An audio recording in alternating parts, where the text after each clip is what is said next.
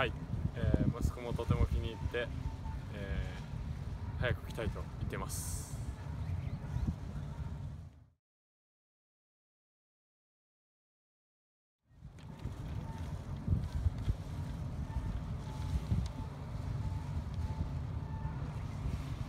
5月4日は、えー、子供が楽しめるイベントがたくさんあります、えー、ぜひ、えー、親子で楽しみに来てください。あと試合も皆さんで盛り上げてください。僕たちも一生懸命頑張ります。